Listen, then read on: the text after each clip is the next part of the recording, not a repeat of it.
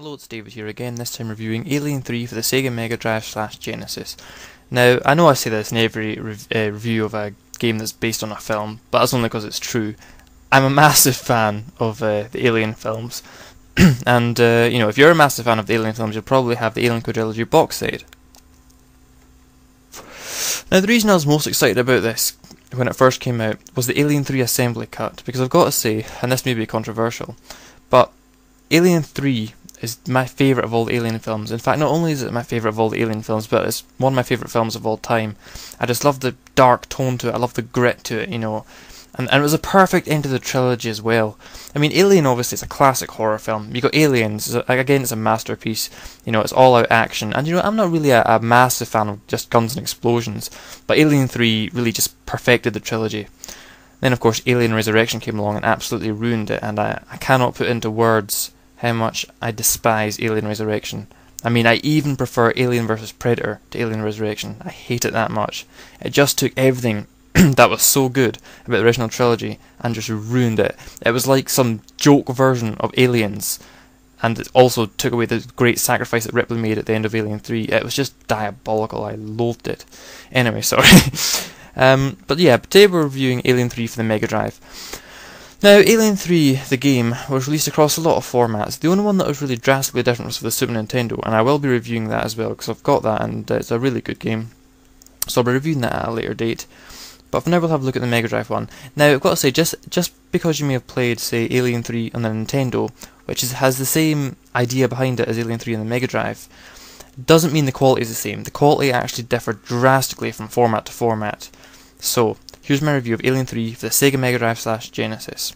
Let's see how good this really is.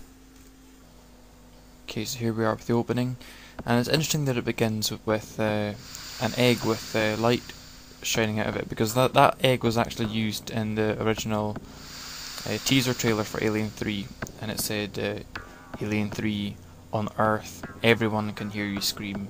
But of course that never came to pass, and uh, if you know the, the troubled production of Alien 3. If you know about that, then you understand why. Anyway, first of all, as usual, let's have a look at the options. Now, you can get up to 9 lives in this. You may think that's excessive, but if you've never played this game before, then you'll need every single last one of them. Difficulty, easy, normal, or hard, and they do make a massive difference. You can change the controls, and you can listen to the music and sound effects. Now, the music doesn't try to replicate the excellent score that was in the film, but it's still brilliant anyway. I actually love the music in this game, so let's get started. Okay, now stage 1 it says mission. Now that actually does mean something, and I'll get to that a bit later on. Okay, so the game opens up. Now, the controls are fine, you know, very responsive. As you can see, I'm using a machine gun here. You press A to change your weapon. And the machine gun, you can run and fire with it, as you can see. Just blew away an alien. There's also the flamethrower, which I just picked up ammo for. Now you can't uh, move while using the flamethrower, that's fine. I uh, picked up machine gun ammo, machine gun ammo there, and there's ammo for my grenade launcher, which you know is a bit delayed when you fire, so you've got to be careful when you use it. Now you'll see in the top right I've got a radar which is flashing. That means it's about to disappear. Thankfully, you can pick up more radar. Presumably that's battery or something. You've also got these grenades, but they don't explode on impact, so basically you're going to have to be a good judge to hit anything with it. Uh, basically, they're a last resort weapon. Now you're going to see a lot of these platforms throughout the game, um, but you know there's no real annoying jumping sections in this. There's more ammo for my machine gun. Now there's some health. You see my health bars in the bottom right hand corner. Now you'll see the timer in the top middle of the screen, and below that there's a number. That's the number of prisoners in this level, and I've got to rescue all those prisoners before the timer runs out, and if I don't, I fail.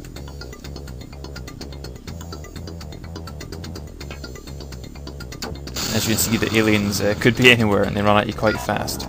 There's these doors uh, you might have to open, or use your grenades to blow them to pieces. Now, going back to the aliens a second, you'll see they are very much like the ones that were in, well, the one that was in Alien 3, which I like, because I love that style of alien, you know, really fast, moving alien. Not too fond of the warrior aliens from Aliens. Now, there are a lot of vent sections in this game, which is appropriate for an alien game. The levels are essentially mazes, with prisoners scattered about, and they get more and more complex as the game goes on. And there are four different types of environment you'll find yourself in, and although the differences between them are only superficial, it does help keep things fresh. Now once you become experienced at this game, you'll rely more and more on your radar. The aliens show up as blue dots, and the prisoners show up as red dots, and the radar becomes an invaluable device. I mean, when you first start off you'll play this like a straight up platform game, but you can't go on like that. Now here's an interesting thing. There are certain walls that you can jump into, and usually there'll be items in there like health or ammo or whatever, and at first you'll think they're just secrets. But actually, you'll need to discover these walls later on in the game if you want to get past certain levels. Earlier I mentioned that the word mission at the beginning of the level actually meant something. It's because there are different types of level. For example, this one's called Rescue, and there are no aliens, there's just lots and lots of prisoners and you've got to, again, rescue them all and get out in time. There are also mayhem levels in which there's no prisoners, just lots and lots of aliens, and you've got to get out. And as we see here, the obligatory boss levels. Now, I don't know what kind of aliens these are, I've never seen them in anything before, but you know, alien games, uh, even the modern ones like Alien vs Predator 2, they tend to uh, add their own xenomorphs in, and that's fine. Now these bosses follow a set pattern like in most retro games, and it's basically a case of learning it to defeat them. There are a lot of levels in this game, so many that I've never bothered trying to count them. I mean, it just does seem to go on and on. Um, but it's a great game actually. You know, it may sound uh, repetitive, but the action is so intense. The aliens are so fast. You're all, you're always on a hair trigger, keeping an eye on the radar. You know, one could fall down the ceiling, one could uh, run from the side of the screen. It's really, really fun to play, and it's exactly what an alien game should feel like. And think about it. You know, what else could they do with these uh, in these retro games? This is the best they could do in the day and uh, I think it's absolutely brilliant, and I still enjoy playing it. I mean, even just reviewing it right now, I actually want to go and play it. Now, a fan of the film might ask why Ripley's running around with all these guns when there was no guns in the film. Uh, and of course, there was only one alien in the film, so why is there lots and lots of aliens? Well, if you think about it, how could they possibly, especially back in these days, you know, how could they make a game with one alien and no weapons and still make it fun to play? It just wouldn't be possible. But you know, Ripley's still got her shaved head, you've still got the the bald prisoners. You know, I think it does.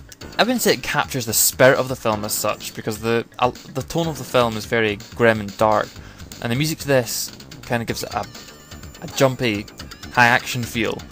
But it's still a brilliant game, regardless of that. It's very rare that I like a game that is based on a film but doesn't really feel like it.